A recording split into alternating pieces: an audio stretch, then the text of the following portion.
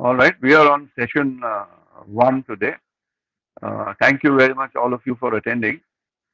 Now, uh, my way of teaching the laws is that I start from the uh, back of the law, law book, from Appendix A. Now, whatever study of the laws, uh, criminal or civil or whatever I have done, uh, I have always found that the definitions are the first chapter. But somehow here we've got uh, the definitions at the end of the book.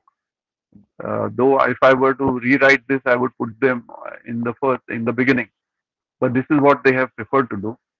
And because of this, I find that many, many umpires uh, do not read this in the first instance. Do not read these in the first instance. As the title tells you, that definitions and explanations of words and phrases not defined in the text.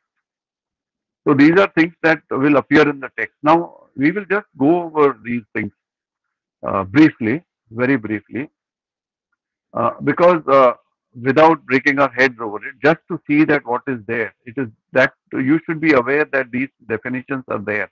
And a lot of times, uh, these definitions have a particular meaning in the laws and will help you to interpret the particular law in a better way. All right. Uh, and uh, also, so it will help you to interpret the laws in a better way. And as we go along, these concepts will be uh, reiterated and you will have a better understanding of each of these concepts. Right now, I am just reading through. Right now, I am just reading through. Uh, that is all I would want you to do.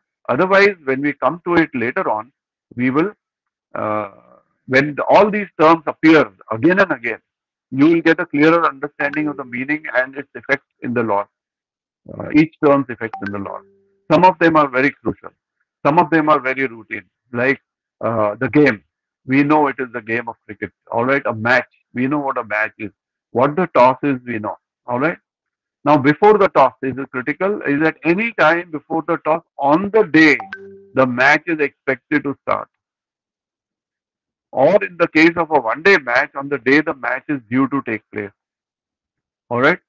So, before the toss doesn't mean, uh, say, uh, uh, 1st October is the first day of the match. It means before on any day, right from sunrise, any day on the 1st of October, it doesn't mean the 30th of September. All right.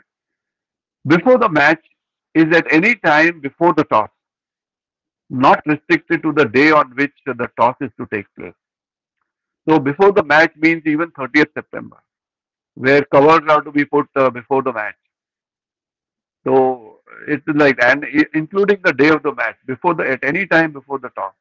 This is a meaning which is critical to understand for some other purposes also. During the match, is at any time after the toss, after the toss until the conclusion of the match. At any time during the match is that is the definition of during the match. Playing time is at any time between the call of play and the call of time. We call time uh, play when we call play when the uh, game begins in any session and we call time at the end of that particular session whether it is an interruption or it is an interval okay and so the time in between these two calls is uh, playing time. Conduct of the match includes any action, absolutely any action relevant to the match at any time on any day of the match. On any day of the match. It could be uh, to do with rolling, with cover, or whatever, remarking of creases, any anything at all, any action uh, by the players or whatever implements used in the match, uh, the laws use the terms implement and equipment. Both have a different meaning. Implements used in the match are the bat, the ball, stumps, and the bails, four of them. Uh, these are the implements of the game. External protective equipment is any visible uh, item of apparel worn for protection against external blows. We know that uh, external protective helmet like pad leg guards or uh, uh, helmets are for protection against external blows. But remember, we are uh, this is confined to only visible items. He may be wearing a chest guard or he may be wearing a thigh guard. We are not concerned with that. We are concerned with external protective equipment. That is external protective equipment is a term that we have to understand. In, internally, he may wear anything at all. All right. Uh, external protective equipment for a batter. Now, since I mentioned implements, let me talk about equipment. A batter's equipment is his her bat as defined above, together with any external protective uh, equipment that is wearing. A fielder's equipment is any external protective equipment that he is wearing. All right. What he is allowed to wear, what he is not allowed to wear, we'll come to that later. Uh, for a batter, the items permitted are a protective helmet, external leg guards or batting pads, or bat and batting gloves, and if visible, his forearm guards. Sometimes uh, forearm guards are worn uh, under a sweater or uh, roll down sleeves. Then they are internal. He is wearing them, but they are internal. But if he rolls up his sleeves, then they are it is an external leg guard. It can be both, right? For a fielder, only a protective helmet. For a fielder, only a protective helmet is uh, permitted, except in the case of a wicket keeper for whom the wicket keeping pads and gloves are also permitted. A wicket keeper is also a fielder.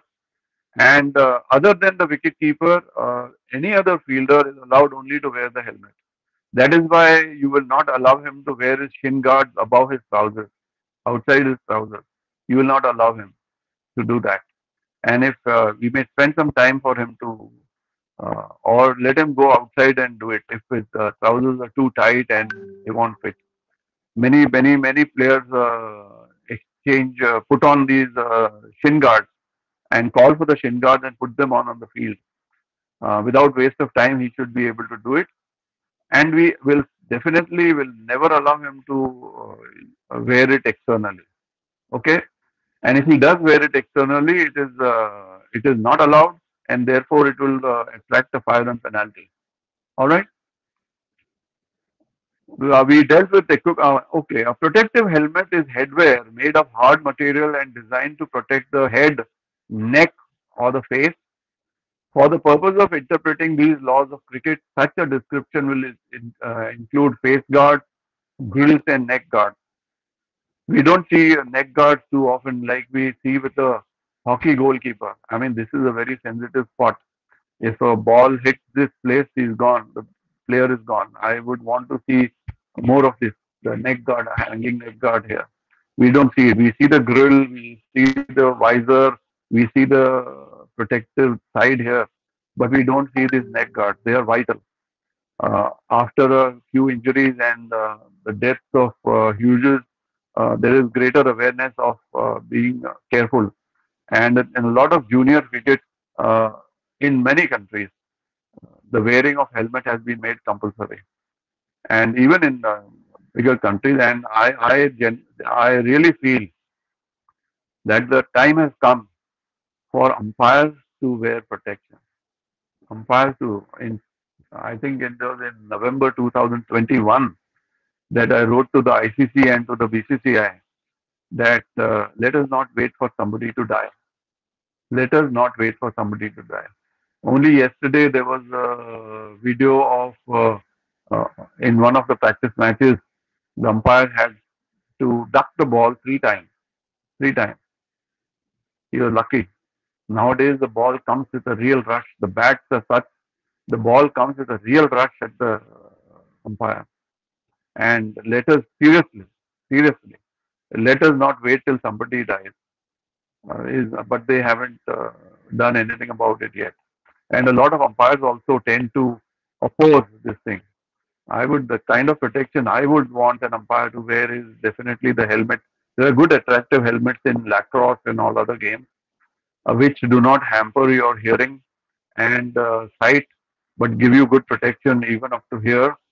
Uh, you may, and most certainly an abdomen guard and I would want you to protect your knees. Your shin, uh, you get a sustain a shin, shin fracture, uh, you will recover. But uh, knee injury will, is career threatening. And uh, there are so many you can search on the internet. You get so many clips of uh, near hits and real hits, bad hits. So I feel that it is required, but this is uh, something beside the point. Uh, the bat. The following are to be considered as part of the bat. This also appears in Law 5 con- concerning the bat. Whenever the law speaks, about the bat, whenever the, the law uses the word bat, it will not tell you what part of the bat. It will use the term bat, that the term bat is supposed to mean the whole of the bat. Naturally, the whole of the bat itself. The whole of the glove or glove worn on the hand or hands holding the bat. The whole glove. It will include that. It will not tell you it is uh, hit the glove. It will tell you bat only. The law will tell you bat. Or the hand or hands holding the bat if the batter is not wearing a glove on that hand. And or or on those hands. Okay. Uh, this definition is repeated in the in Law 5 and it is significant. But the whole idea, we all know this. We know this. But the whole idea is that uh, to, for us to understand, the law will not tell you every time that uh, uh, it won't elaborate it. Won't elaborate it. Like like it will not elaborate that held in the batter's hand. Contact between the batter's hand or glove worn on his or her hand or any, on any part of the bat shall constitute the bat being held in that hand.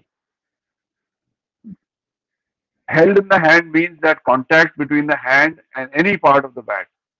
It may be the toe of the bat, not necessarily the handle, and you need not be holding it like something. Sometimes when we hold, we hold uh, between thumb and forefinger. But mere contact, mere contact with the bat is enough. Of the hand, mere contact with his foot is not enough. If I, if uh, the batter has a bat lying on the ground and he places his foot on the handle, the bat is not in hand. He is in contact with it with his foot, but the bat is not in hand for the purposes of this law. All right. Okay. Uh, held in the batter's hand means that contact between the batter's hand or glove worn on his hand and any part of the bat that constitutes uh, the uh, any part of the bat shall constitute the bat being held in uh, that hand. The playing area we very well know the field of play within the boundary. The square we know, though it is not a square, it is a rectangle most of the time, is a specially prepared area. Field all cricketers know what a square is. The outfield, of course, is outside the square. There is a pitch, there is a square, and there is the outfield. Everybody who plays cricket and umpires cricket knows these terms. Uh, nothing to repeat here, nothing much here. Now, behind the popping crease, we know what behind the popping crease is the whole area uh, behind the popping crease. In front of the popping crease, we know what the crease is. We learn what the crease is. And uh, it should not be mistaken with the crease marking, which may be this much or this may be this much. It is one of the edges, which is the crease. Uh, in front of in relation to any marking, this is a general term. Uh, the striker's end is as good as the wicketkeeper's end, which is the same thing. Where the striker stands to receive the ball, we know all of that. All right. Uh, the wicketkeeper's end is the same as the striker's end. The bowler's end is where the end from which the bowler delivers the ball. Uh, in front of these are just terms which have been defined. We know all of them. You need not read all of them. In front of the line of the striker's wicket, this is vital for us to understand that it is not from the center of the stumps or from the bowling crease. It is uh, the area of the field of play in front of an imaginary line joining the front of the stump.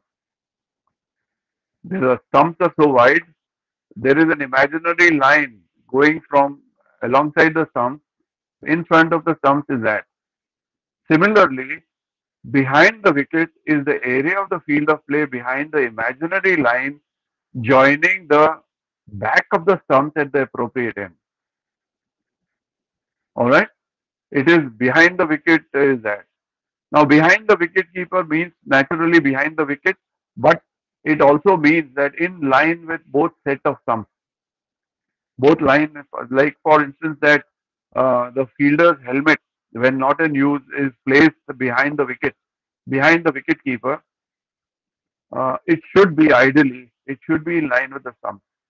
Many a times uh, a fielder I've seen that he place goes and rush, uh, the slip fielder rushes and places it there and hastily and it is not placed properly. You please feel free to let him do it properly because that is the safest position uh, in line. Even there the ball can go and strike it, but to place it towards the leg side or towards the off side is inviting trouble.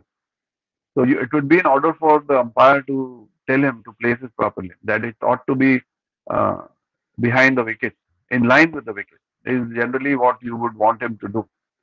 Uh, placing it uh, somewhere at the first slip is inviting trouble. All right, no trouble for you, inviting trouble for the team. What you will do is award five runs. on it. We know what is the offside, we know what is the onside, we know what is the inside edge. The inside edge is the same side as the nearer wicket. Nearer wicket. Or you might say that uh, the inside edge is uh, from where the umpire stands. All the edges which are nearer the umpire are the inside edges or back edges, where you know where you stand at uh, the bowler end, and there is a crease. The frame is there. All the edges of the markings which are closer to you are the creases, not the far end, not the far end. All right. We know all this. One important definition is where the law uses the law law uses terms like the striker's end umpire. We know what that is. We know what a bowler and umpire is, who the bowler's end umpire is. But here this is significant that the umpire is whenever the law uses the word umpire alone, the law tells us that when it is used, it always means the bowler's end umpire, though it's full disc sometimes used. Where the term umpire is used, it always means the bowler and umpire. That is what the law is telling us. So that is the definition of the term umpire. All right. Now there are many duties that the umpires together agree or perform together. So therefore, there you will see come across the term uh, umpires together agree. Applies to all decisions which the umpires are to make jointly. And as students of uh, the laws of cricket, I would ask you to create a page in your notebook. Joint decisions of umpires. Joint decisions of umpires. And as we come along each of them, I suggest that you give me a second.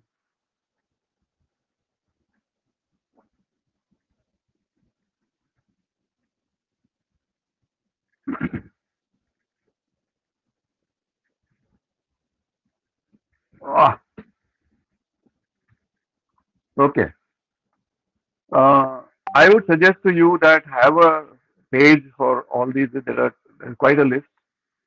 And if you are preparing for an examination, one of the things that I like to ask is uh, the budding umpire is name any three uh, joint decisions that the umpires take. So you don't have to think those up. It will be before you uh, create elaborate notes. I suggest you create elaborate notes for your study. That uh, and this is one area where you can start uh, work on immediately. All right. Batting side, of course, we know member of the batting side is one of the nominated players or any authorized replacement. All right. Uh, he is also a member of the batting side. The striker, we know the striker, who the non-striker is, what is the batter's ground, behind the crease is the batter's ground. Original end is the end at which the where a batter was when the ball came into play for that delivery. I was at the striker's end, that is my original end. The other guy was at the non-striker's end, that is his original end. I'll tell you why this uh, concept is important. You, I'm sure you know it. wicket he has left is that while running between wickets, he's left this wicket, then he's left that wicket, and some incident happens uh, in between. So, is the wicket at which the batter was at the start of the run in progress? Whenever a run, multiple runs are taken, I have just left the non-striker's wicket. So that is the wicket I have just left. It is not. It might not be my. I'm the striker. Uh, my original end is the striker's end, but this is the non-striker's end is the wicket I have just left. Batting position. A batting position is the position and posture adopted by the striker. It is basically batting guard. The lawmakers uh, uh, recently what they did was they changed it to batting position instead of guard because a lot of in a lot of countries uh, in which uh, the laws are translated uh, into various languages, they had a massive problem translating guard in their language. Now, guard has a definite meaning, uh, sentry or all that, uh, guard, on your guard and all that. There is different, many meanings. So they they were they didn't want any ambiguity, and in in uh, deference to their uh, difficulty, understanding their difficulty, they have changed this batting position, batting guard to batting position. What was earlier batting guard? I might say the same thing uh, while we speak also, batting position or batting guard. It is the same thing. All right. The laws now call it a batting position. Is the position a posture adopted by the striker to receive a ball delivered by the bowler? This is where he takes his guard or he takes his position. A normal batting uh, position is one which the striker could be reasonably expected to defend his wicket. A normal batting position is important for us from the point of view of Law 22, where the term is used. In the case of wide, a normal position means any sensible batsman's position, normal batting position, not my eccentric. I am an eccentric fellow, and I come and ask the umpire to give me a guard one foot outside leg stump. I'll oblige. The umpire will oblige. All right, you're an idiot, but that is if you want a guard there, I'll give it to you. Or six inches outside leg stump. All right, I'll give it to you. I, I'm eccentric. But the lawmakers are supposed to, the laws want you to take into account a normal guard position, batting position, guard position of any rational human being. Any rational human being, not this git chap, right? When we come to law 22, I'll discuss it in more detail. Now, for the purposes of these laws, waist height is defined as the point at which the top of the batter's trousers would conventionally be when he is standing upright at the popping crease. This is the waist height. This is important for us for the point from the point of view of waist height ball and all that. And nowadays you see that uh, no ball is to be given for this. Now here, what we understand uh, now here, this is one of the abnormal descriptions in the game of a common term, waist. This is a very abnormal definition. A waist we understand is above the waist. See, it is not, waist is not a point. It is not a point. If you understand waist, waist is a four or five inch uh, area starting from the top of your hip bone and ending at your uh, at your first rib. That is the waist. That is the waist. What you would anybody wearing a kamarband. If you've seen anybody kamar wearing a kamarband, uh, that will display it. Uh, if I am a batter, I wear a kamarband, and a lot of uh, Maharajas used to wear a kamarband into into a cricket match. That is the waist. What we define as waist. It begins at the you know uh, what do you call it 36 24 36 that kind of thing this area that is the waist and uh, that is the uh, and uh, above the waist will necessarily mean where the waist ends and will necessarily mean the rib cage and the head. Above the waist means the rib cage and the head. And as per the original meaning that is what we were supposed to protect. That is what we were supposed to protect. We as umpires the rib cage and the head and shoulder, rib cage and the uh, of the batsman. But what has happened here is, uh, unfortunately, uh, the waist height is now lowered. Waist above the waist term above the waist is now lowered to the level of the place where the belt is worn. A belt is not conventionally worn uh, in your trousers where you wear, wear the waist belt. And uh, you, but this is the law, and we have to follow that. This is what when we judge, we judge uh, full pitch deliveries. This is the level at which it will judge. The bowler has in fact lost uh, vital four inches, vital four inches, which he could have bowled a little higher, but now he has to. Uh, his he will be no balled at this level. Earlier he would be no balled above this level. That is what has uh, happened. And uh, when uh, ICC communicated this uh, to us, MCC communicated this change to the general public. And they, they generally have uh, issue a note where they explain why certain changes have been made. And uh, what they said was that for a number of years, uh, this is how the law, the this waist height is being used, practiced in professional cricket, which is at cloud nine level cricket. It is that is how it has been, and from there they have imported it here in the basic laws. Earlier, the basic laws were different. They were practicing it differently at ICC level, the umpires and the match referees, etc. Now it has been on made on par. I recall, uh, and I know the people responsible for doing this. I recall that I was umpiring uh, the Challenger Trophy at Mohali, the series of India A, India B, India C, that kind of thing. Uh, and uh, Javagal Srinath was there. I do not know in what capacity. He was not a match referee at that time. I think he was one of the commentators. He was not a match referee.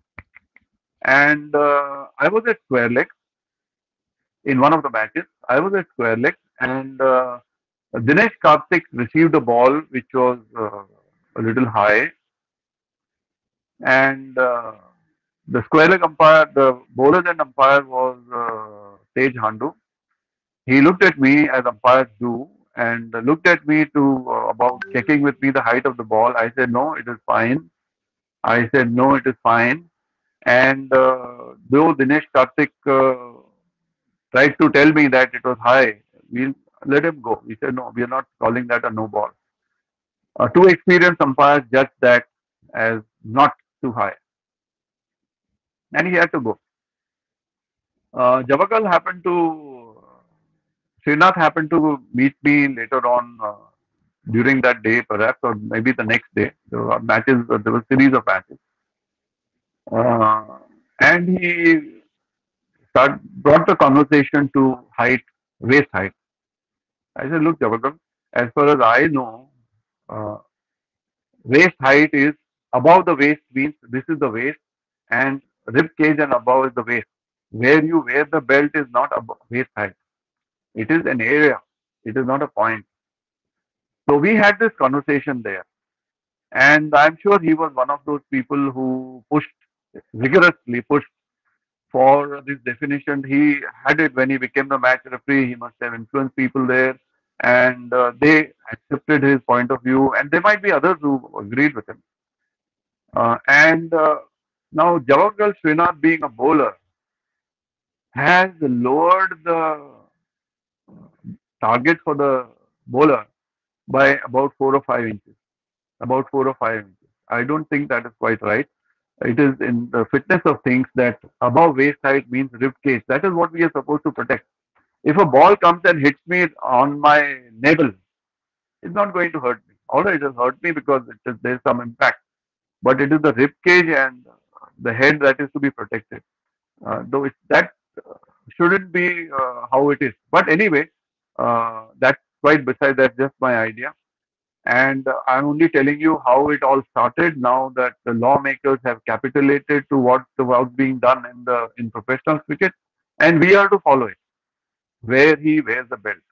But the bowler target is now lowered. Okay. Now fielders. the fielding side is the side we know what the fielding side is. A member of the fielding side will include the authorized replacement or substitute for such nominated player. He is a part of the fielding side. Any substitute or replacement for a fielder, he becomes now the part of the fielding side. All right, the substitute. The nominated player has gone out. The substitute is the part of the fielding side. Fielder is an important definition uh, that you have here. Is one of 11 or fewer players who together with now it can fielder can be 11 or less than 11. So fielder together represent the fielding side on the field of play.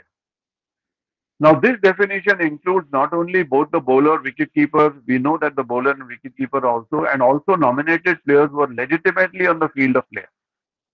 Together with players legitimately acting as substitute for absent or nominated. It excludes.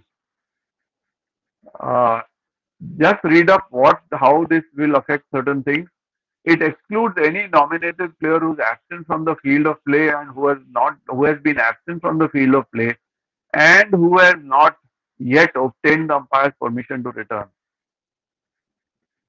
Uh, we will discuss this when we come, but right now, uh, now they clarify that a, a player going out to fetch the ball or stepping out to sign an autograph or retrieve a ball from the stands, he is gone out temporarily in the discharge of his duties he has not left the field. In this definition, he has not left the field. He remains uh, on the field, so to say. Substitutes, replacements, and runners. A substitute is a player who takes the place of a, we know what it is. Uh, but a substitute our activities are limited to fielding. We know that there are certain things a substitute cannot do, which is batting is he cannot do. Uh, he cannot uh, act as captain and he cannot uh, also keep wickets unless the umpire allows him to do it. So these are the things he cannot do. He is one of the, he is not one of the nominated players. A replacement player, the law allows you that once you have nominated the, uh, a player in your list, the laws allow you to change that, but which is with the permission of the opposing captain. Then he is the legitimate, he is also a legitimate part of the team now, of the fielding team or the batting team. Okay. Replacement uh, activities on the field of play are no more limited than those of any nominated. He is a full-fledged nominated player. He can bat, he can bowl, he can keep wickets, he can do whatever. He is a full-fledged nominated player. Nominated player. A runner is a nominated player we will look at what are runners uh, who run for another nominated player. All right, and is unable to run. Bowler, we know what is over the wicket, round the wicket. What is the delivery swing? Is where the arm is rotated. That is how a bowler bowls. Delivery stride of the definition is important for us to know. It is the stride during which the delivery swing is made when the bowler runs up, there, he, there is a number, he takes a number of strides. This one stride is different because that is where in which he delivers the ball and he takes the deliver, delivery swing. Now he may not actually deliver the ball, it is still the delivery stride. Okay? He may, whether he delivers the ball or not is not the question. Uh, whether the ball is released or not, but it is still the delivery stride. Now the delivery stride, the beginning and the end of the delivery stride is important for us, uh, uh, very important for you to understand. It starts when the bowler's back foot lands for that stride. His back foot lands, his body goes sideways, his back foot lands. We have seen a bowler bowl. And ends when the front foot lands in the, same side. Front foot lands, delivery stride is over. Front foot, back foot lands, the delivery stride begins. Front foot lands, the delivery stride is over. The side after is completed when the next foot lands, that is when the back foot of the delivery stands light again. That is regardless. The ball. The ball is struck or strikes the ball unless specifically defined mean that the ball is struck by the bat or strikes the bat is just a technical term used. In the case of ball and bat, we will come to this again. Full pitch is, of course, we know that it is a full toss. without having touched, touched the ground, it has reached the striker, which is a full toss, uh, which we know it normally as a full toss, or it is a that is also termed as a full pitch delivery. Okay. Runs uh, now runs to be disallowed. There are two terms. Either the runs are disallowed or the runs are not to be scored. This definition is important for us. A run to be disallowed is one that in law should not have been taken. There are many cases where runs are disallowed. It is not only to be cancelled, but the batters are to be returned to their original end, like of a leg bye or uh, uh, of a pad padding which I have deliberately done. No runs are allowed. And if I reach the other end, I will be sent back. Then that run is being disallowed. And it also follows, whenever runs are being disallowed, it follows that the striker, the batter, two batters will be returned to their original end. They'll be returned. It always follows. It always follows. Runs disallowed means you will return the two batters to their original end. Okay. Uh, a run not to be scored is one that is not illegal. It is not illegal. Like you've taken runs and one of them is short it is a legitimate run, except that it is not allowed. I am going to disallow, not disallow, not, it will not be scored. Let us uh, use the term, uh, the proper term is not disallowed, but it will not be scored. It is a legitimate run, but you did not take it properly. You did not take it properly. It is not a properly executed run. It is not a run that has been made so the question of cancellation does not arise. The loss of the run so attempted is not a disallowance and the batters will not be returned to their original ends on that account. Will not be returned. On that account of that, they will not be returned. Uh, the person. The person uh, is my flesh and blood and also whatever I am wearing any clothing or legitimate external protective equipment that I am wearing, except in the case of a batter is bat. Bat. Bat is not part of his person. Okay. A hand, whether gloved or not, is not holding the bat is part of the striker's person. We know that if I am if the, my hand is holding the bat, it is part of the bat. But if it is free of the bat, it is part of my person and not part of the bat. If it is holding the bat, I can be given out cut if the ball hits me here. Or my entire glove. We'll come to that when the entire glove. But if this is loose, it is part of the person. I can be given out LBW of this of the hand when it is free of the bat. I can I'll show you a video where uh, the striker is out LBW of his hand. Out LBW of his. I was I while playing, I've been given out LBW of, of a sweep of my chest. I was hit here out LBW. That is the person. It doesn't mean leg before wicket, doesn't mean leg uh, only. Alright? No item of clothing is part of a striker's person unless it is attached to him. So, if it is attached to him, it is part of his person. It also means that if it is attached to him, it is also part of his person. For a batter, a glove being held but not worn is part of his person. If the striker is wearing the many batsmen, Sunil Gavaskar used to do that. When he is a non-striker, he would remove both his uh, gloves and carry them in his hand. He would not wear them, remove them and carry them, carry them. And when he went to take strike, he would put them on again. Many batters do that. So when such a thing happens, it is still part of his person. It is still part of, a, of his person. Alright? But for a fielder, an item of clothing or equipment he is holding in his hand or hands is not part of his person.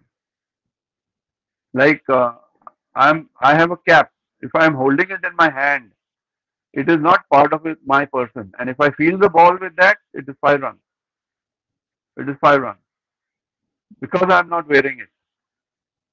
It is legitimate uh, clothing, but I'm not wearing it. It is uh, therefore uh, not part of my person. All right. Uh, a lot of these definitions we know. A lot of these definitions, the meaning will become clearer uh, as we go along. Uh, don't need no need to break. Read this again, perhaps uh, after our session is over. You can read it again. Clothing means other than whatever a player is wearing, including items like spectacles, jewelry, all of that is clothing. I'm carrying a handkerchief. I'm having a napkin tucked into my uh, trousers, either the front or the back, or uh, even though he may be wearing some kind of which are not visible for protection, a bat being carried by a batter does not come within this definition of clothing. All right. Sorry. Hand. Hand for a batter or wicket keeper shall include both the hand itself and the whole of the glove worn on the hand, which will be that is the definition. We know what the offside and the onside means, what is in front of the popping crease, this is in front of the popping crease, this is behind the popping crease, all of that we have seen. This is a graphic description of these terms. We are all familiar with these terms, there is no problem. And we have Appendix D, we have Appendix D where uh, uh, these are all categories of bats. You need not read them. It won't be important from the, from the point of view of examination. And it will also, uh, these are more or less now instructions only for the manufacturers to uh, conform, to abide by. So you need not, uh, but then give it a read, give it a read without uh, too much stress, give it a read. And and side inserts, commercial items. We don't need to. Uh, and then there is a picture of uh, ball bat gauge, which has been prescribed nowadays in order to check that the bats are in order. All right. Uh, more about this when we come to the law of bats. Okay.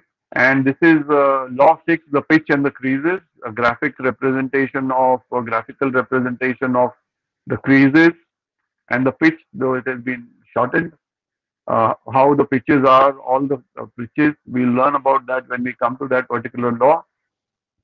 And the stumps and the bails, the measurements are given here. Now, all these measurements are important from the uh, umpiring examination point of view when you are preparing. All right. And gloves, wicket keeper's gloves, uh, there are certain restrictions on the wicket keeper's gloves, and they have what they mean by those restrictions are graphically described here. We will deal with it when we come to that particular law. This is Appendix C. Just go over them. That is all. That is all I would want you to do. Just go over them. Like we have, just read through them. Uh, the importance of some of them, uh, these will be uh, brought home to you as we go along. Will uh, be brought home to you as we go along. All right. Okay. Now, uh, here, any anything in particular about Appendix A? Uh, any any query you might have? Anything at all? Give me a sec, please.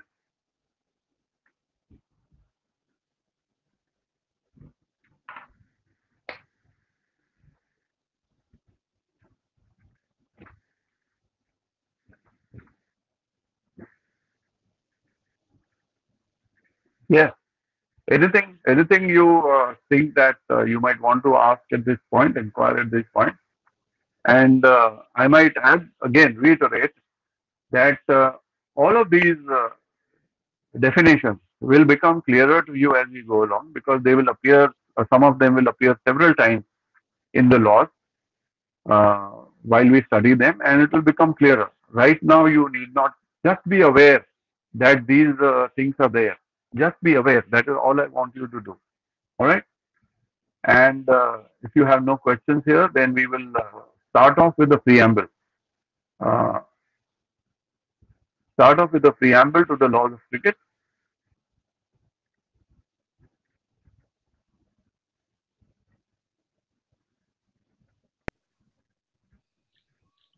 Uh, excuse me, sir.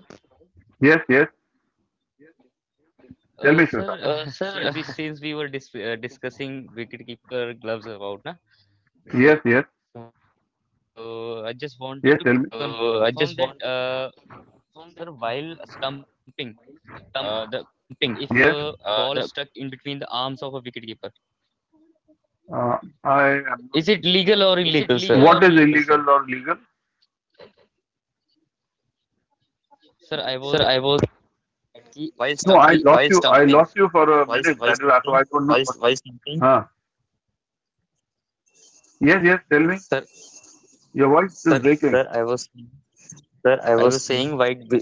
I was saying Suppose, white. uh, suppose a uh, wicket keepering a wicket to keepering stump, stump about about to to stump No. better, stump better, Yes, better. yes. But ball stuck between But the arms of the stuck between the arms of the keeper. Yes, Or is ball is not in the or is ball is not in the hands. yes. So, so what would be your decision, sir? So It- what is it be your decision, sir? It, illegal? is it It is, illegal? it is, the ball is stuck here. Yes, ball is yes, sir. stuck Between here? the arms. Yes, yes, sir. Between No, the he arm. can't break the wicket. That is Yes. not uh, that is not legal. The ball has to hit it, or ball with the hand has to hit it. The ball has to reach there. Yes, right, That is right, not- sir. Yes, right, That sir. is Right, not legal. Right. All right. We'll come to that when we discuss this. Now let's go on with uh, the laws of cricket. Uh, this is something that uh, yeah, this is something now here. Uh, you see this. This is something that uh, is critical for us for us all to understand uh, when it comes to before discussing the preamble. Uh, this is a favorite cricket quote of mine. Uh, it is by Christopher Martin-Jenkins. Grace, grace, that is the word. He says that it denotes beauty of movement and also beauty of conduct. Grace denotes beauty of movement and uh, movement and also beauty of conduct. The most attractive cricketers are those who display it when batting, bowling, or fielding, and when they have been given out LBW after a thin edge. You need to show grace even then. Uh, and that is sort of part of the spirit of the game, accepting the decision. Let everybody aim for grace, especially in moments of elation and despair. He's now talking not only merely about the game of cricket. In life, everybody has to aim for grace, especially in moments of elation and despair. That is why I love this saying. Please read it. I, I'll, Dilip, Dilip has been an old friend of mine. He's written a nice foreword. Uh, these are the caps I've umpired with Sandeep and Milind Rege and uh, Vijay Chaubule, uh, Sanjay Vantarekar, and uh, Salil Ankola was a 15 year old when I started umpiring. Shishir Hatangadi I've known for a long year, uh, many years. Lakshan Kulkarni. I invited these chaps to write uh, all uh, introduction about me. Uh, Dilip, of course, to write uh, foreword, the foreword. They all of them obliged. And uh, Suresh Shastri, one of my colleagues in the, uh, he used to play when I started umpiring. And uh, here, now in this book of mine, there is uh, there are three sections actually. The laws of cricket, what we will be dealing with, and there are charts and tables. I'll uh, show you some of the charts and tables also. Because when I started uh, teaching umpire, uh, cricket umpiring, laws of cricket, many of the laws, many of the laws, there is there are a lot of twists and turns in the laws. There are uh, uh, there is uh, there are many cross references. There are many cross cross references. There are also many. Uh, the law is stated, then there is an exception to that particular law. That statement, the first statement, there is an exception, and there is an exception to the exception. So, which makes a, uh, a lot of difficult. Uh, there is a lot of difficulty in understanding, and I employed this tool of having. Uh, I devised some charts where I uh, charts and tables to break up those laws, the provisions. I'll show you some of them as we go along. And then I have got an appendix Z1, uh, which is uh, examples of calculation of minimum overs in the last hour and examples of working of penalty time in this particular book. All right. Now, looking at the preamble uh, of the laws of cricket. Now, for many years, now see, let us look at what the preamble actually says. Now, cricket owes much of its appeal and enjoyment to the fact that it should be played not only according to the laws, but also within the spirit of the game, spirit of cricket. Uh, the major responsibility for ensuring play rests with the captain is one statement I want you to remember always. Because starting from here, this thread runs throughout the laws of the game, throughout the laws of the game, right from up from here to law 42, that it is the, the primary responsibility rests with the captain. That is why recently in a match in England, uh, uh, a player was found guilty of tripping the batsman, actually tripping the batsman in running. He tried to trip him or did actually trip him. I haven't seen the video. I only read the report. And uh, Cheteshwar Pujara, the captain, is also suspended. He is also suspended. He did nothing. But because of his responsibility as the captain to ensure that the game is played within the spirit of the game, he was suspended.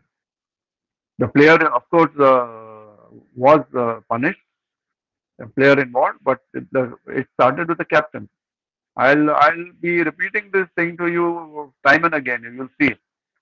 Now, but this responsibility extends to all players, match officials, include which includes umpires, and especially in junior cricket, teachers, coaches, and parents have a great responsibility in doing it, in, in inculcating in their wards, uh, the, their wards that spirit of the game, what is right, what is not right.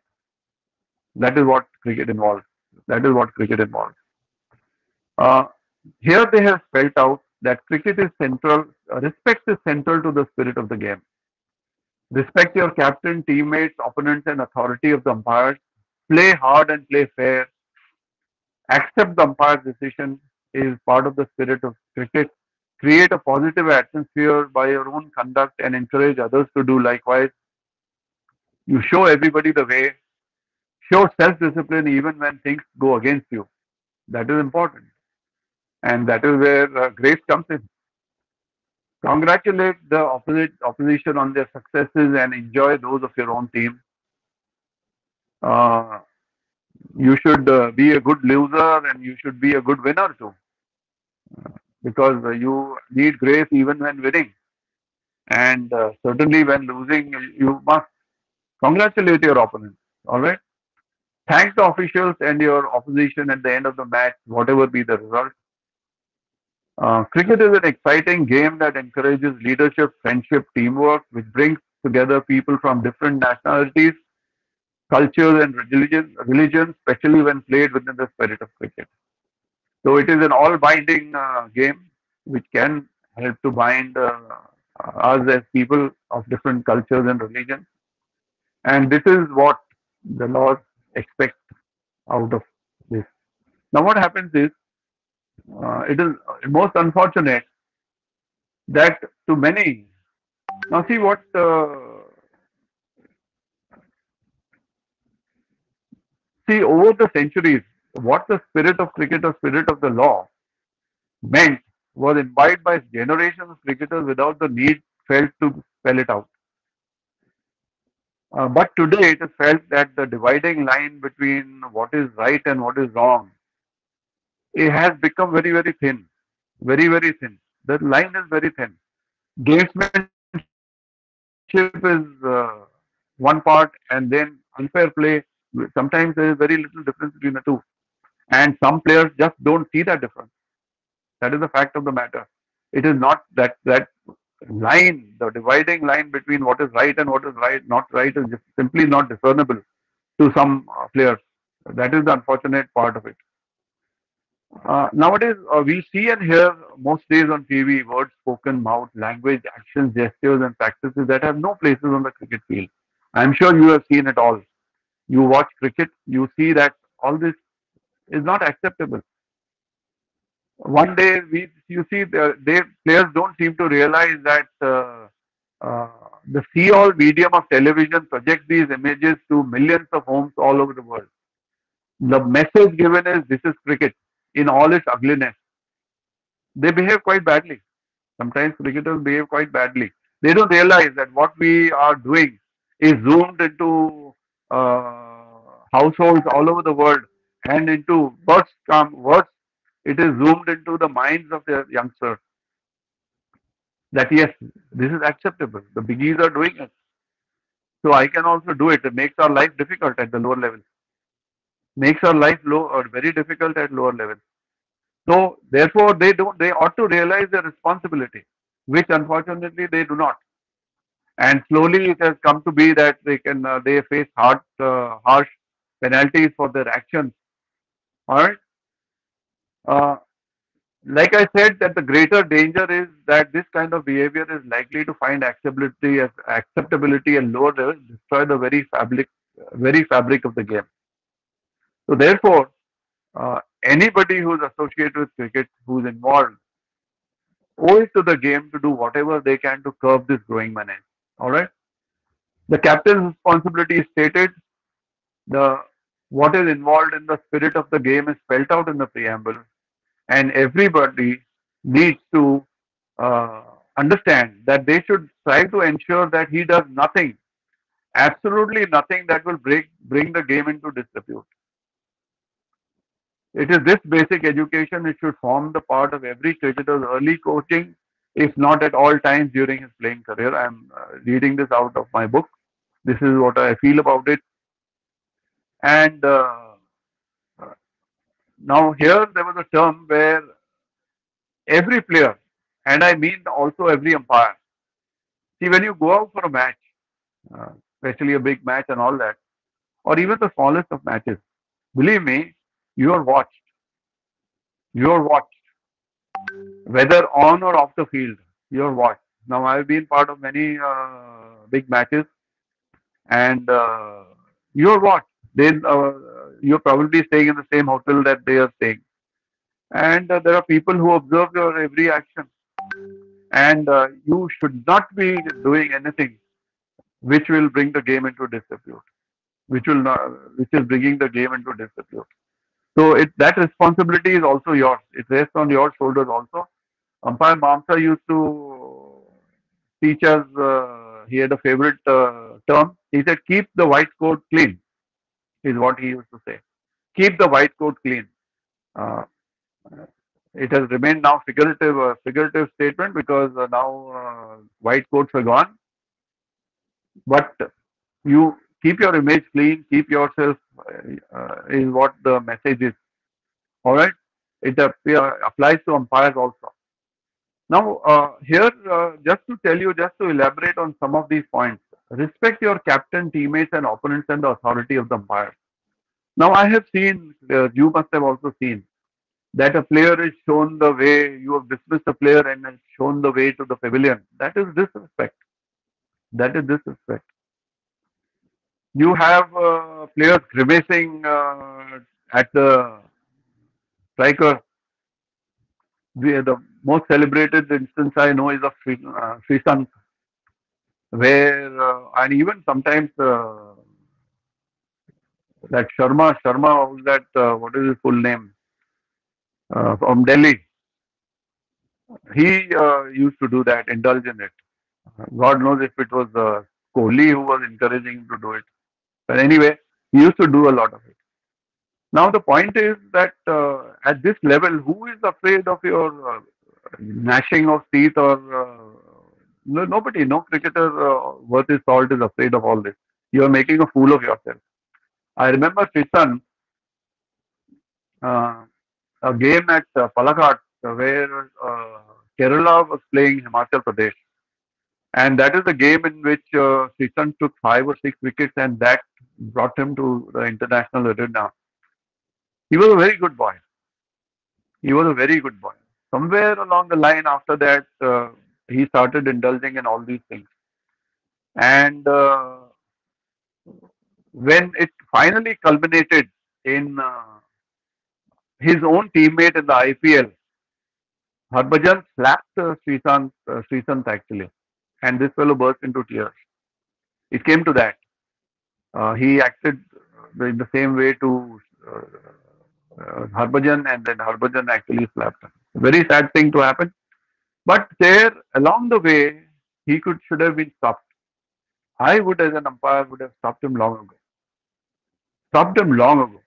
If I'm the match referee, I would have stopped him long ago. He couldn't go from match to match, and we watched him indulging in these antics of his.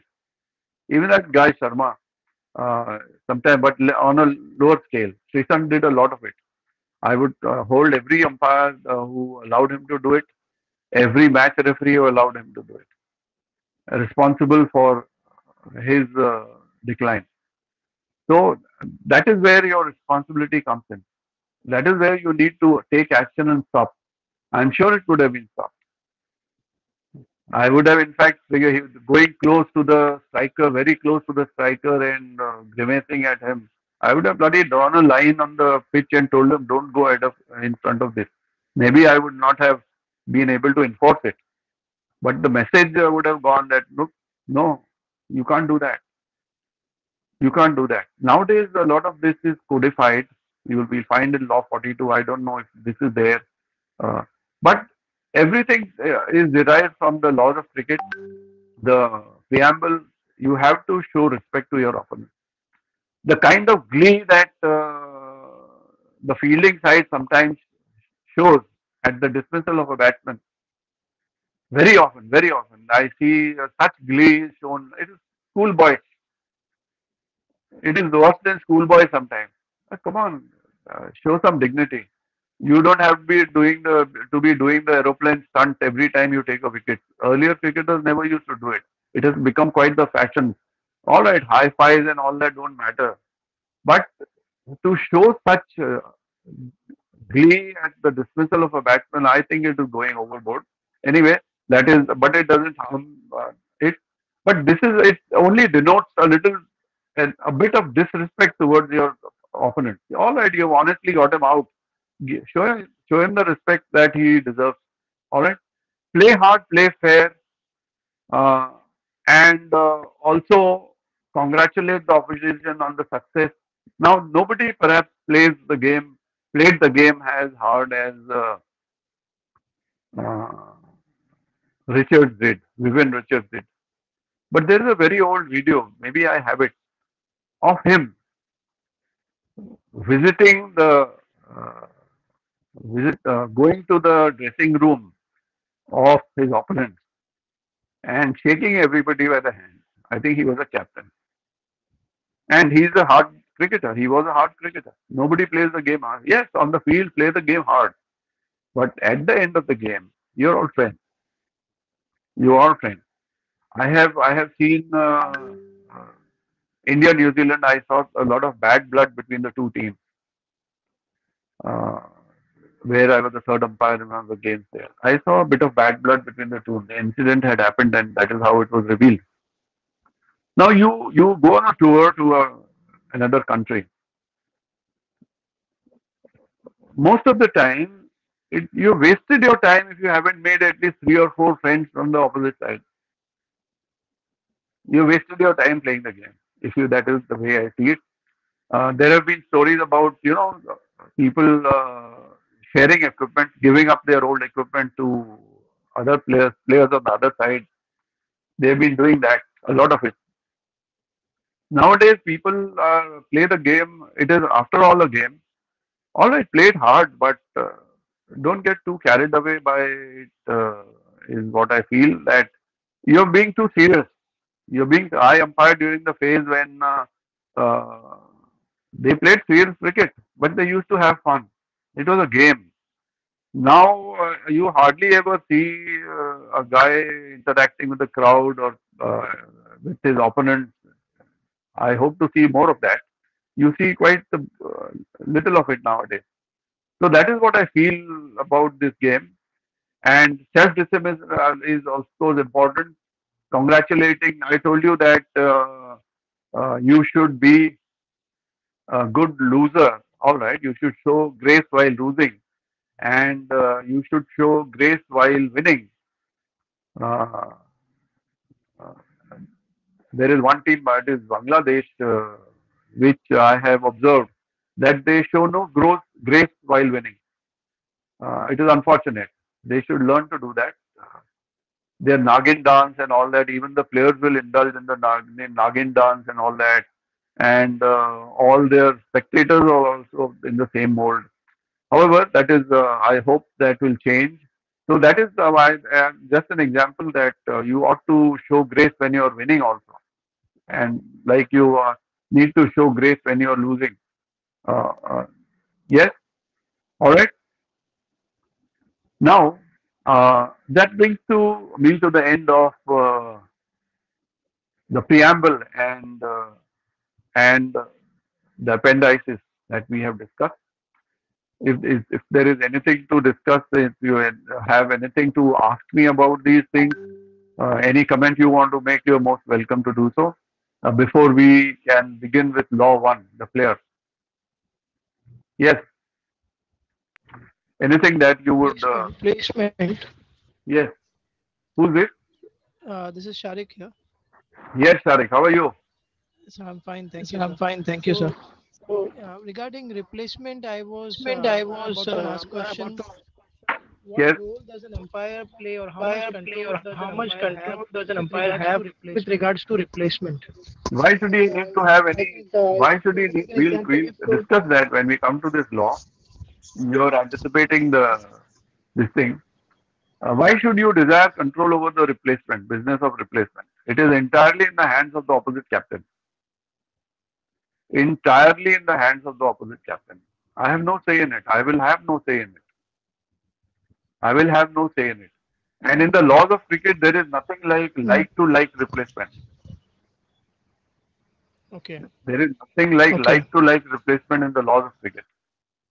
In uh, higher grades of cricket, there is like to like replacement, and it is a match referee who has been entrusted with ensuring ensuring that uh, uh, if an all-rounder is uh, replaced, another all-rounder takes his place, or a batter is replaced, another batter takes his place. Uh, uh, that kind of thing. Uh, that that is the kind of thing which is there.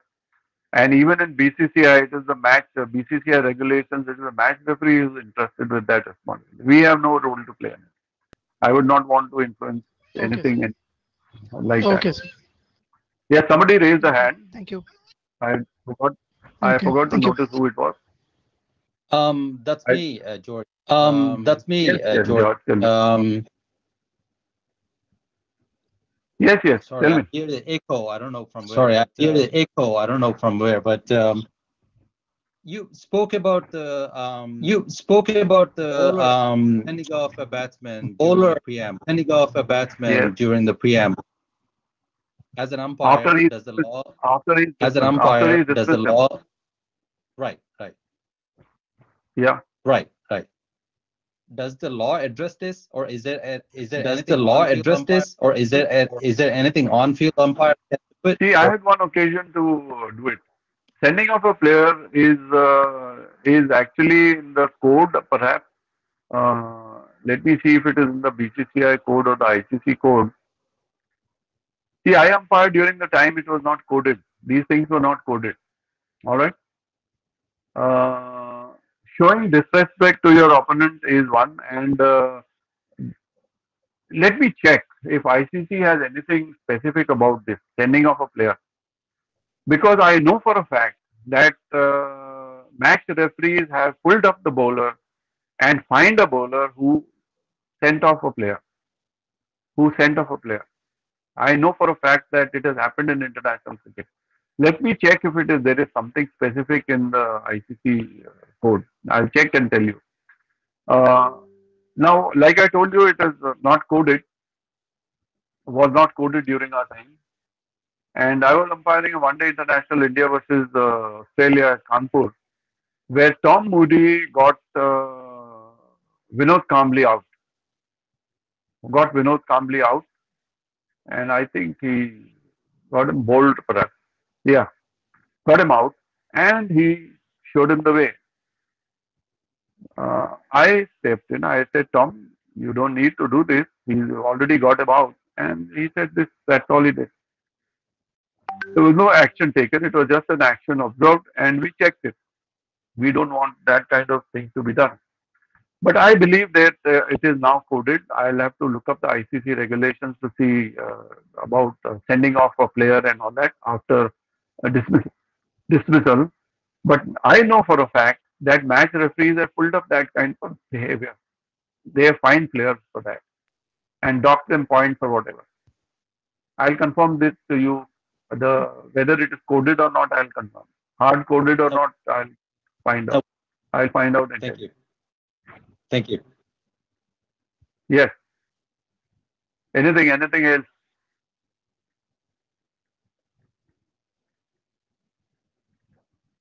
Perhaps that action is described in one of the, uh, the playing conditions. That action is prescribed, I believe. All right. Shall I go on with law uh, one then? Yes? Yes, sir. Yes, sir. Yeah. All right. Law one, the player.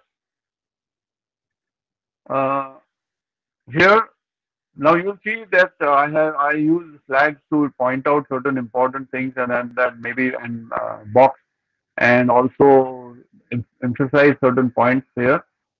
As we go along, uh, you'll see them.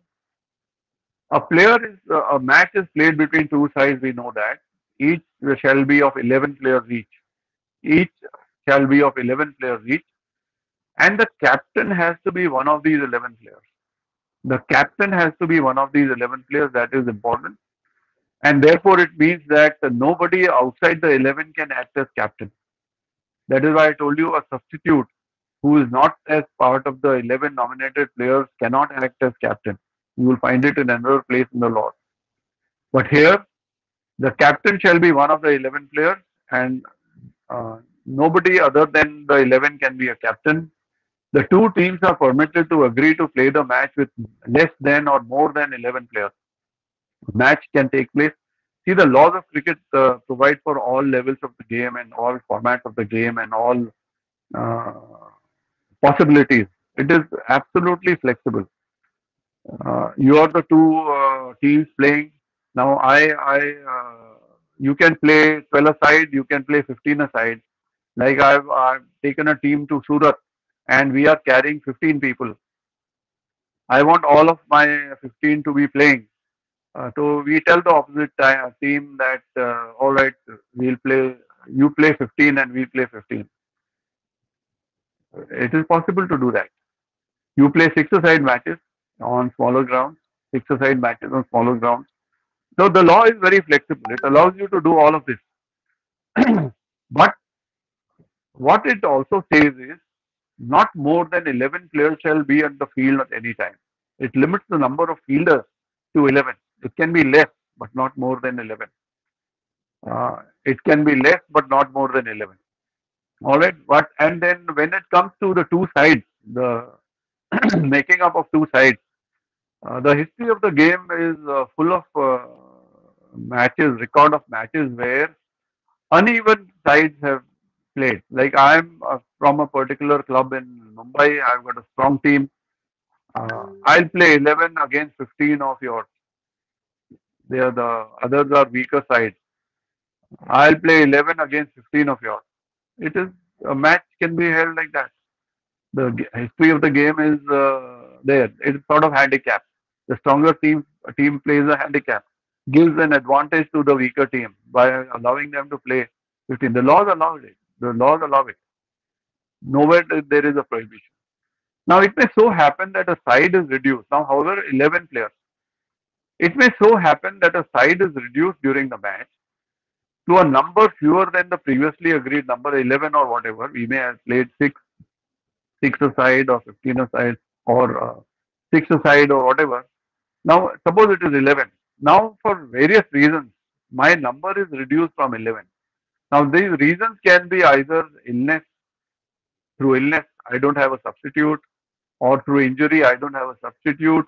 My players have not failed to turn up, absenteeism, uh, it rained heavily and then they haven't uh, the transport uh, local transport failed uh, at the field i have got only seven players i am forced to play with seven or i have the, some players are suspended or for any other reason, it can go below 11.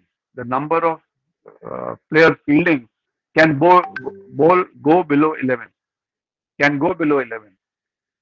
Now, in case the number of players falls below this, the match cannot, shall not be stopped. It can go on just because there are seven fielders on the field of play or even five fielders on the field of play against the 11 originally. Players didn't, one busload hasn't turned up. You're forced to take the field because uh, the laws don't allow you to postpone, uh, delay the match uh, for a very long time. So you're forced to play. This match can go on. The law says this match can go on as long as it is practically possible to do so. It is practically possible to do so. And provided no laws or agreements made before the toss are violated. Provided that no laws are violated or no agreements made before the toss are violated. Now, an example of this I can give you is agreement made before the toss. Uh, One example I can give you is when there is an agreement to play this match uh, on limited overs basis, there is one condition which says that uh, the number of overs each bowler will bowl is one fifth of the total. Now, if your number is reduced to such an extent, as long as that rule is not broken, you will go on playing. But when it comes to you don't have another bowler to bowl, you can't uh, allow anybody to bowl the 11th over. When it comes to that, you will have to stop the game. Let the lawmakers, the rule makers decide what to do with this particular game. But there you will stop it. You will not allow carry on with the game and allow this particular law uh, rule to be broken. You can't play, okay, they don't have, let's play 11. We have to finish. No. The law says that this shall be, it is not possible to fulfill this agreement made before the toss. It is violating that agreement. The match cannot go on. The match cannot go on. All right. Now, nomination and replacement of players. Uh, nomination of the players has to be made in writing before the toss by each captain to one of the umpires. So, it has to be in writing. When is it to be made? Before the toss. By whom? By each captain. To whom? To one of the umpires. Not to both the umpires, one of the umpires. Now let me ask you a question. Let me ask you a question.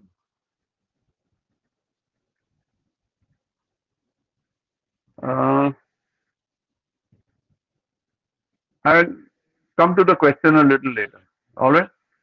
Nomination of the players has to be made in writing. Remember, before the toss, by captain to one of the player umpire. All right. And also,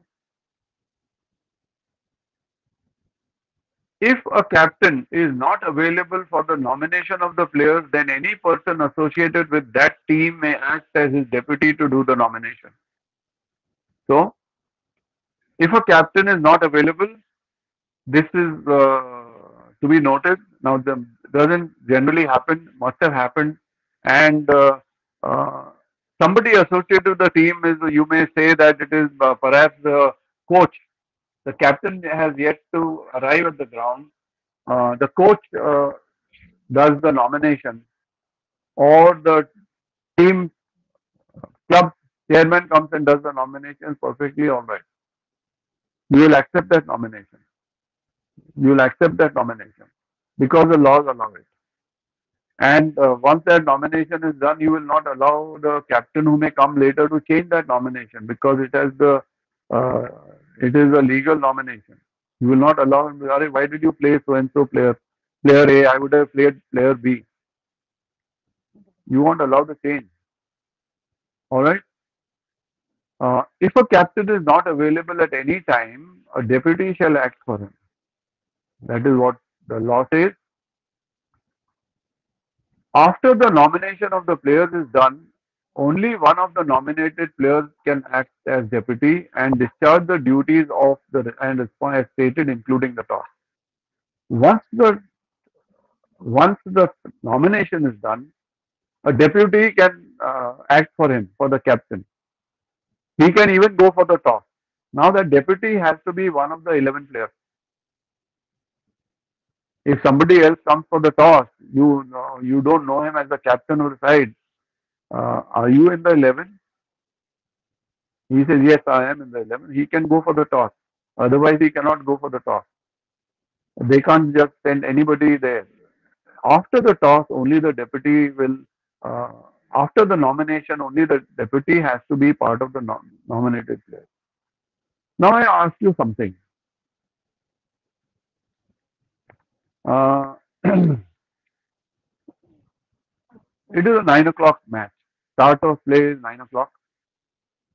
And uh, you have arrived there at, uh, say, 10 o'clock start. You have arrived here at 10, 8.30 or there early in the morning. And you're sitting around sipping tea when one of the captains or perhaps both captains come and give you their nomination sheet. They give you this in writing. And you take it. You take it. Uh, what will you tell the two captains? Now, my colleague has not yet arrived. My colleague has not yet arrived. I am the only person there. Uh, he has given it to me. Will I say that please wait till my colleague arrives? Or will I say that do it at the top? Or will I accept this nomination? What will you do? Yes. Can I have some answers? I would have told him to uh, give me at I the would time have of told him to uh, give me At the time of the toss. yes. Okay. Yes. Any other responses? Yes. responses? Yes. What will you tell him? If the toss is If the done, toss is done 30 minutes, I 30 would, minutes, I would, I accept would, it I would any accept it time- any anytime 30 minutes before the game. minutes before the game. You will accept it any time before the toss. About 30 minutes. About 30 minutes. No, I mean uh, the toss is at uh, 9:30. I mean you will wait uh, like uh, Shubhra said. You will uh, uh, let tell him to do it at the toss, right? Right. Yes, In sir, that yes, case, sir. I would do Yes, the sir, same. yes, In that sir. case, I would do the same You thing. do yeah. the same thing. All right. Yes. Any other responses, please? Sharik?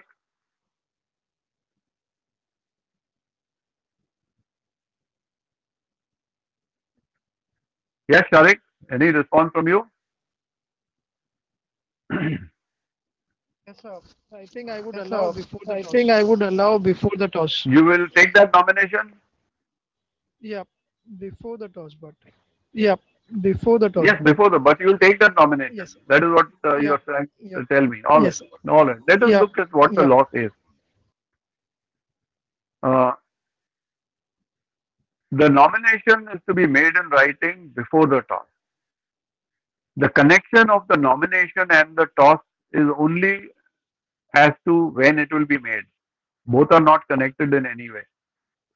Both are not connected in any way.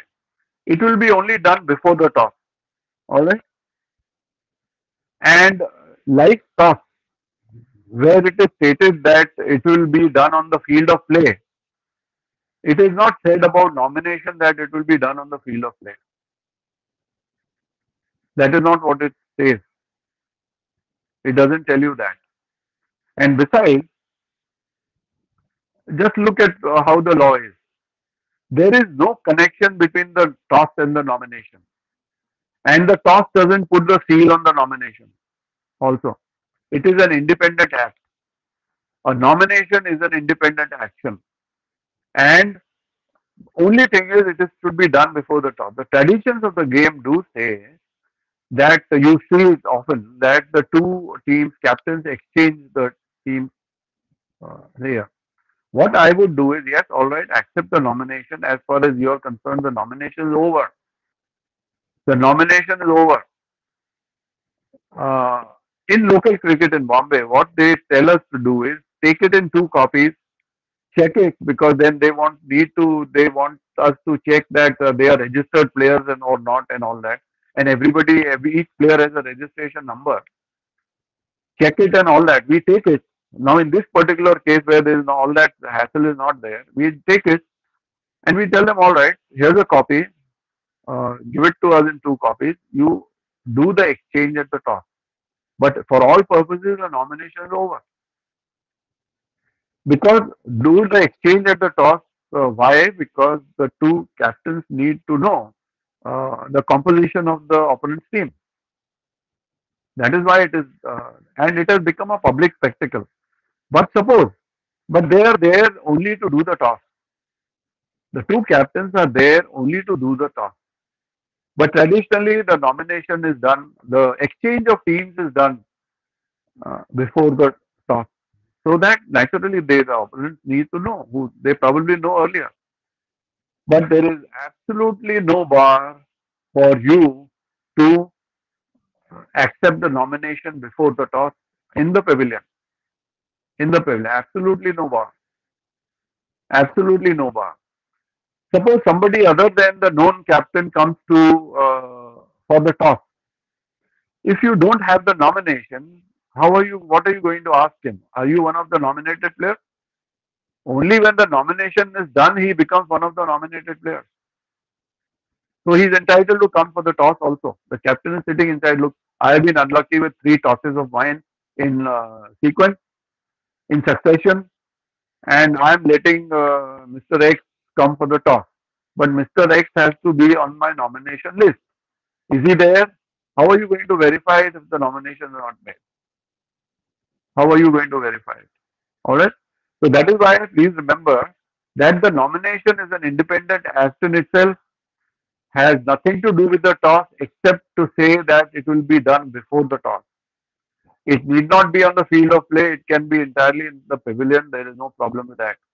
One of the captains comes us, comes to us, to one of the umpires and gives a list. Sir, this is my list of players for today's game. He's probably signed. He's on their whatever letterhead. You may part with a copy to him or or make a note on it. All right, you do an exchange just to let the opposite captain know that the nomination, the the composition of the team, the composition of the team. All right. Now, any player may be replaced after nomination only with the consent of the opposite captain. Now, I have now I have received this list. I have received this list at 8.30, 10 o'clock start 8.30 and I'm sitting there, my colleague has also arrived and we both see that as is usual, the players will step out onto the field in front of the pavilion to take a knock. There's somebody bowling, somebody fielding, somebody batting and a lot of times they don't have gloves, they don't have pads or they may have gloves but no pads. The batters and one of them you see in front of you is hit on the knee, is hit on the knee he is one of the nominated players. He is hit on the knee. And uh, the toss is due at uh, at whatever uh, eight uh, nine thirty thirty. At nine o'clock, the captain of that player uh, comes to you and says, "Sir, you saw that fellow get injured on the field of play, and he is quite severely hit and I'd like to replace him. What will be your response? What will be your response? Will you allow the replacement or what will you tell him?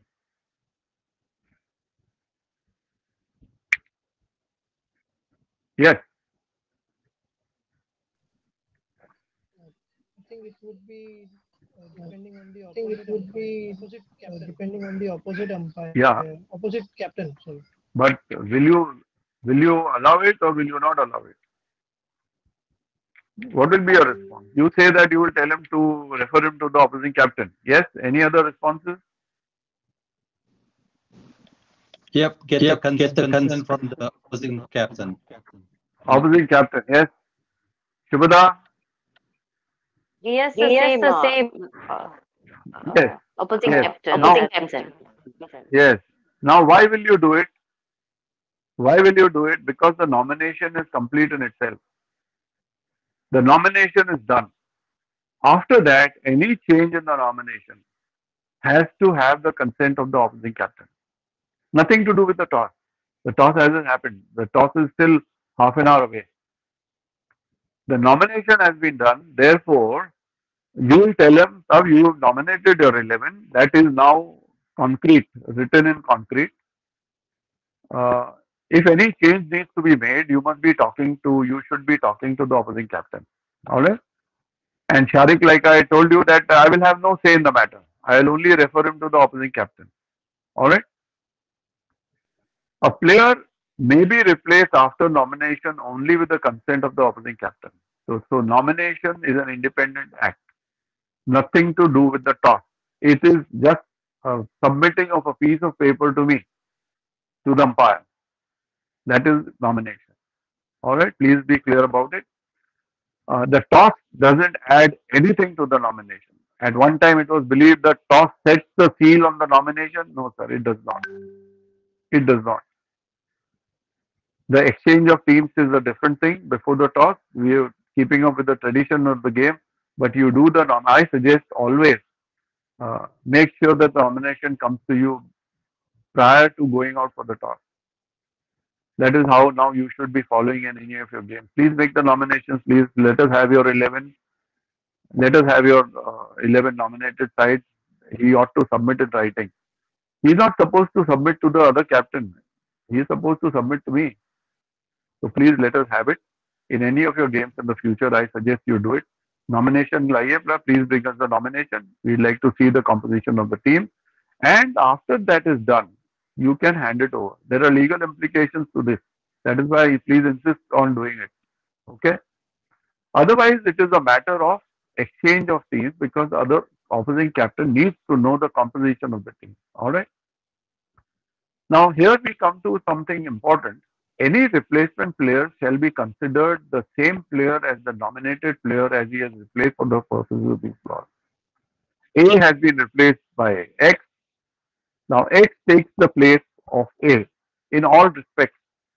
When you will read ahead, you will realize uh, in to what extent a replacement may not bat in an innings in which the nominated player he is replacing has completed his innings. Any unserved penalty time, warnings or suspension that apply to the original nominated player will be inherited by his or her replacement. Uh, let us take the second part first. Suppose there is uh, that player, that particular player has been absent uh, from the field of play and he has incurred penalty time. He is say minus 30 minutes behind. He has been out 30 minutes. uh, he got injured while on the field of play. He got injured, uh, pulled a muscle and had to go out. And uh, later on, uh, a substitute has come in his place. And later on, uh, it is found that he can no longer participate. It is a bad tear, bad muscle tear. He can't participate in the game. He has been allowed complete rest. Uh, to that, he'll damage himself very badly if you play again. And the opposing captain comes and tells you that, uh, look, we want a replacement. The opposing captain allows the replacement. All right. So what happens now is that this new player who has come in, he doesn't come in with a clean slate he carries the burden of the 30 minutes time. That 30 minutes time, he carries that burden. The new player also. He has to serve that on the field of play before uh, he can bat or he can bowl or whatever. The new player can bowl also. He is proper, entire, totally entitled to bowl and bat. He is a replacement. So he is a nominated. He can bowl and he can bat. He can keep wickets. He can do anything. He is not a substitute. So remember, and any other suspension. Suppose that original player had received a warning as a bowler or as a fielder. The replacement will carry that warning or caution. He will carry that warning and caution. when he no clean slate. He steps into the shoes of the original player. That's what. That's the basic idea. He steps into the shoes of the original player. Or there may be a suspension. Law 42 now allows you to suspend a fielder a player for 10 overs. Now he is suffering a suspension. The replacement will also be will carry that suspension also. He is for all purposes stepping into the shoes of the original player. That is to be understood, the point to be understood. Now a replacement may not bat in an innings in which the nominated player he is replacing has completed an innings. When does a batter complete his innings? When he's out. Alright? Is that fine? When he's out. Now imagine a situation where uh, I am a batter, I am a batter, I get hit on the head or wherever by the ball and I am carried away. And uh, I am retired, not out for the moment, I am retired and I go out and I require medical attention, I go to the doctors and all that. I have been advised not to participate in the match now. I cannot. I cannot participate in the match or I have sustained a fracture for all you know. Alright? I can't play.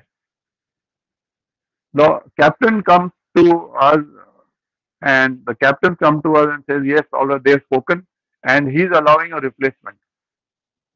He's allowing a replacement. Now, can this replacement continue the innings of the original batter? Yes, my question is, can the original, can the uh, sub, uh, replacement, batter X, continue the innings of batter A, who has been replaced? Yes. Question. Yes, sir, he can. Yes, sir, he can. Yes, tell me. He will. He can continue. He will. He can continue. Sharik, he can, he can continue, you say. Yes? Any other responses? Yes, sir. If he was not, Yes, not sir. out, If as he you was said, not, not out, as you said, Yes. Can the Can replacement continue. continue the innings? he can continue.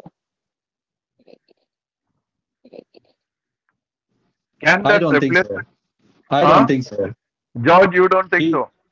No, He- the um, original No, player the um, original player is retired batted now. He He is already retired, batted. yes, but original player has not completed his innings. Right, but he's still not out. Right, but um, I mean, he's he still not out. Um, I mean, he still took the, the field. Yes, yes, I agree. He's retired. I mean, he's left the field. He's retired. Uh, out, not out depends uh, on uh, the reason for his retirement. He can always, he could always have come back and played himself.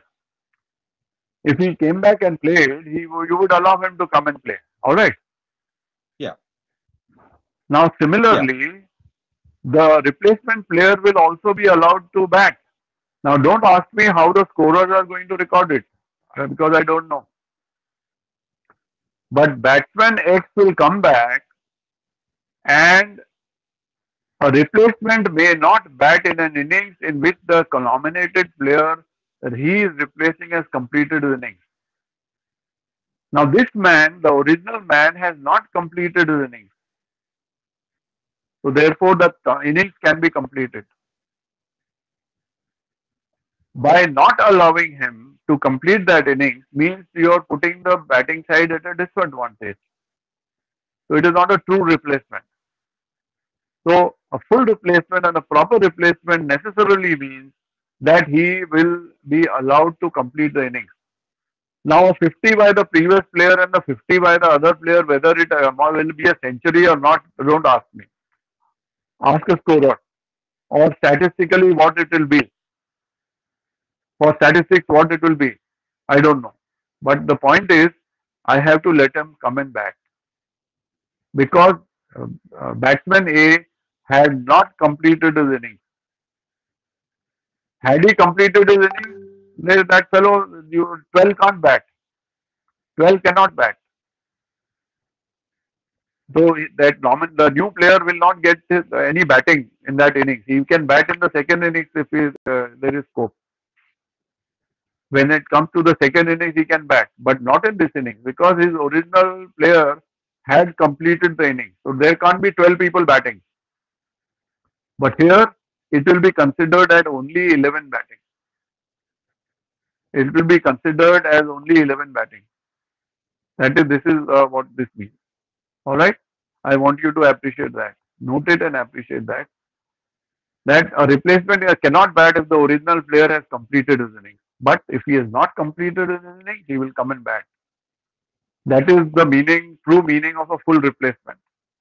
Otherwise, you are putting the batting side at a dis- disadvantage. It doesn't stand to reason.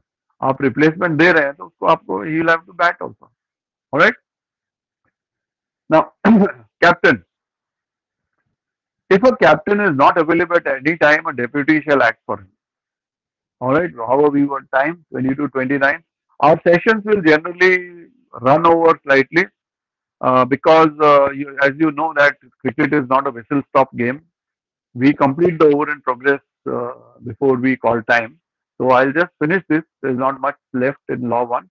And law two, we simply cannot start because it is pretty long. We'll do it uh, on Thursday. Now, if a captain is not available at any time, a deputy shall act for him. All right. If a captain is not available for nomination of the players, then any person associated with the team can act. We've already seen it. After the nomination is done, only one of the nominated players shall act as deputy and discharge the duties of the responsibilities and responsibilities of the captain as stated in the laws, including at the toss. So, only the nominated player can come out for the toss. Either he is the captain himself or one of the 11. Nobody else can. Nobody else can. But here, this curious phrase is also a clause is also to be uh, understood that anybody associated with the team can do the nomination. That person but cannot uh, go for the top because he is not uh, unless he is himself nominated. He is nominated himself. All right. Responsibility of the captain. It is repeated here. At all times, the captains are responsible for ensuring that play is conducted within the spirit of cricket as well as within the laws. This theme you will see this theme going throughout the law. Started from the preamble, it will go right up to law 42. It is the captain's responsibility. It is the captain's responsibility. It, they mention the preamble here and law 41 unfair play, fair, unfair play. All right. So this law squarely places the responsibility upon the two captains for ensuring that ensuring fair play. Even if the captain is not directly involved in any act of unfair play, he will be held liable for any penalties. Like Cheteshwar Pujara was suspended, he had nothing to do with it, but he was held responsible. This principle of the captain being always responsible is maintained through the laws as is evidenced by the reporting procedure and post-match action in the laws covering uh, all acts of unfair play. I'll uh, come to this again when we uh, see it. All right. When we come to each of the laws, you'll I'll point out to you uh, all that is there. Okay. Now uh, we since because we had already done uh, most of this particular law, this part we brought we, we are at the end of law one. I'm not starting law two. What I suggest you do is uh, please just go over uh, law two and three. Uh, every time I suggest that laws ahead of us, just give it a reading before we start the session. It will help. It will be helpful to you. All right. Now uh, we'll close the session, but then before that, uh, I invite uh, any questions that you might have. Uh, sir, Any not a question? question, but uh, sir, not a question, but uh, just a thing. I'm using JioMeet uh, for the first time, but I hear a very sharp echo. I'm not able to speak. I mean, I think that's the problem with I don't know if well. others are facing a problem about echo. Uh, sir, maybe because you are sharing your sir, maybe because you are sharing your screen. No, sharing the screen shouldn't uh, give a problem. Uh, sometimes there is a connectivity issue. Sharing the screen screen doesn't give up. But then, are you who who else is feeling of finding an echo? Sir, I think I I also had that same problem. Sir, I uh, think I I not- also not had that same we are problem. speaking. Uh, not not When When you we are are speaking, speaking. uh, Shadik, when you are speaking, you uh, Yeah. get a, an echo. Yeah, so especially when we are speaking, we hear an echo. Yeah, so we can hear especially when we are speaking, we hear an echo, but we can hear you. Oh, Uh, alright, I didn't clearly. know that. Okay. Uh, what about you, George? Yeah, same same thing. Oh, Yeah, no, same- I, same I, thing. I, suppose, I, I don't know what the problem is. Uh, there have been no such complaints uh, earlier. Let's see. I hope it sorts it out. Uh, I'll just talk to these chaps that there is an echo from the speaker. Their audience may say, uh, though those people are very good in support. So I'll talk to Mumtaz, Mumtaz Ali. I'll talk to him tomorrow and let me see what uh, he tells us I'll report to him this problem. But then generally, I am, let us hope it sorts itself out because it becomes very difficult when that echo is there, very difficult to talk. I quite appreciate that. So can you Sir, try? can you uh, try, to uh, stop sharing now? Uh, sharing sharing your screen sharing now? your screen And now. I can, I can remove. I can, I can remove. I'll stop the share. I'll stop the share, uh, which I've already done. I will try now. I Now think yes, sir. Now now there is no echo.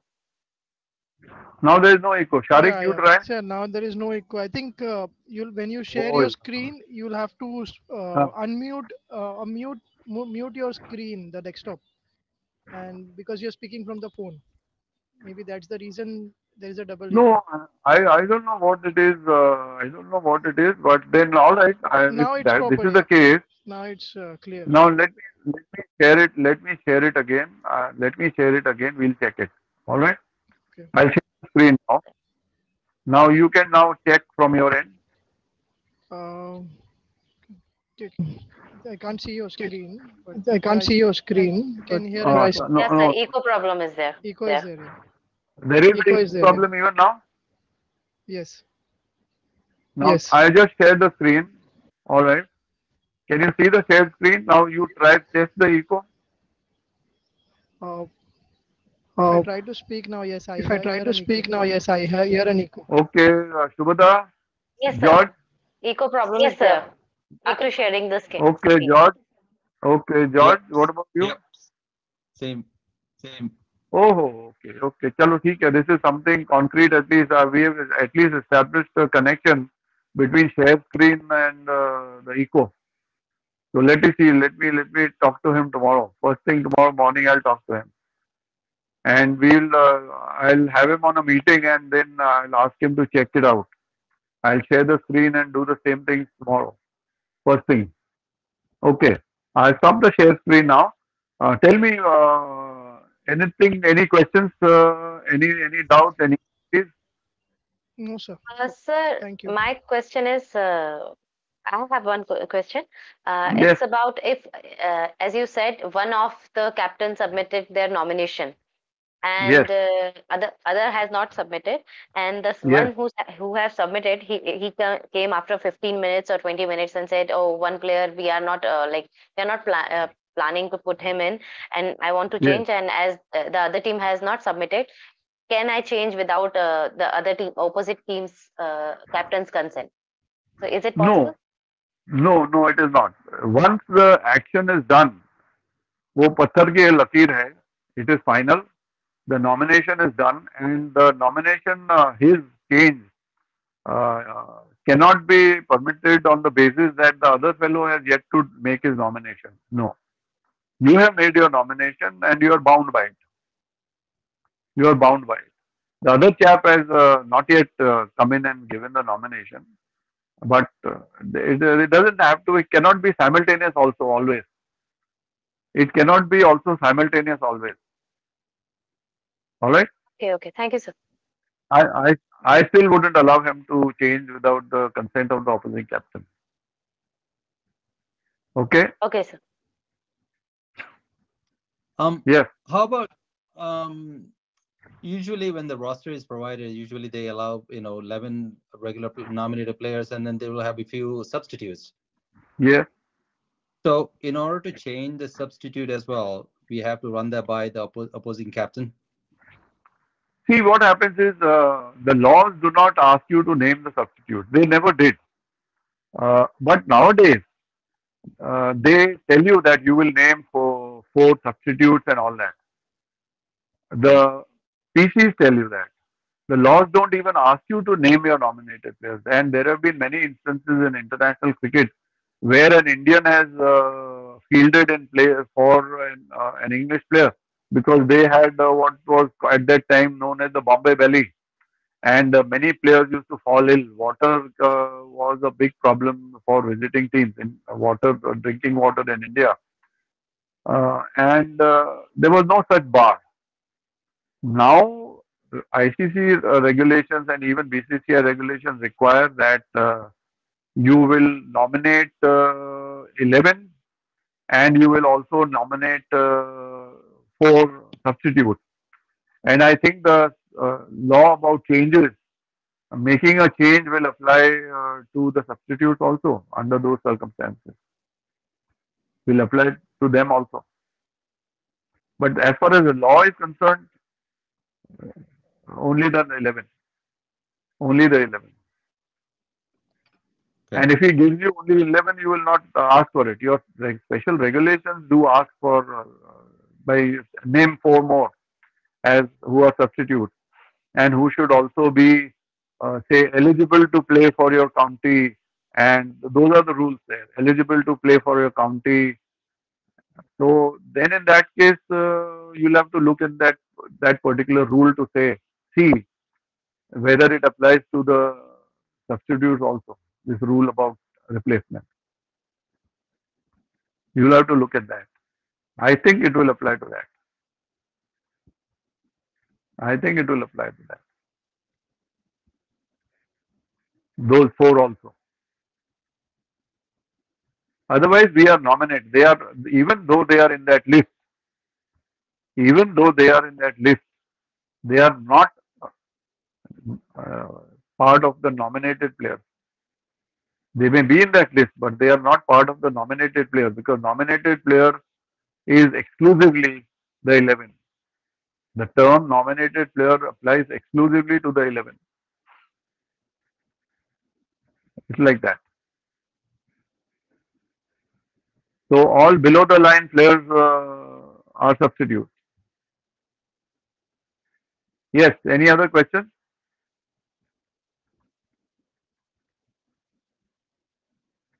So hassan how are you finding the instruction uh, today Yes, sir. yeah you're all right with this Yes, yes, sir. I can understand them. Yes, you can understand. There's no problem. Uh, Hassan is a newbie. He's a young chap who plays cricket. Uh, is it an umpire? And he aspires to be an umpire. That is why he's here. And uh, Kabir, Kabir is your name. I gather. All right. Yes, So, yes, sir. uh, yes, if you have any issues, any problems, uh, uh, because we have uh, most of the others are uh, practicing umpires, and they will uh, be more perhaps more readily understand some of the things you might not. So, anytime you want uh, any clarification, further clarification, don't just don't hesitate. All right? Sure, sir. Yeah, don't hesitate to ask. Okay, Yes, I'll let you Tell know. me. Yeah, yeah, sure. Uh, any other questions, please, before we uh, stop the recording? No, sir. Yes, go ahead. Your floor.